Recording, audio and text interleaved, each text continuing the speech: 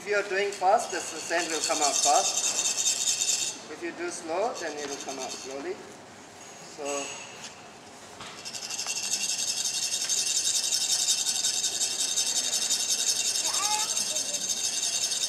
like that.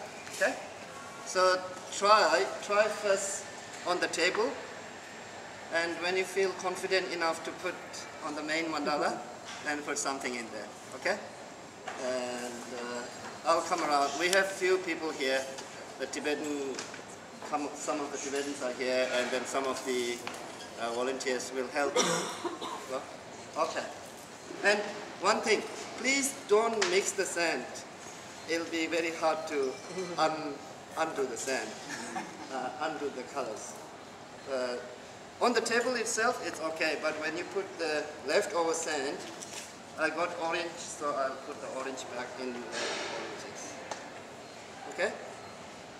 And there are a couple of things that, but we won't, uh, we won't bother, but if you do make, if you do think it's a mistake, then you can always uh, undo the mistake.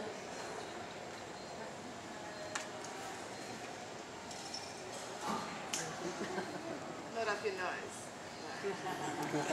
okay? So it's in there and in there. Okay. Alright, so...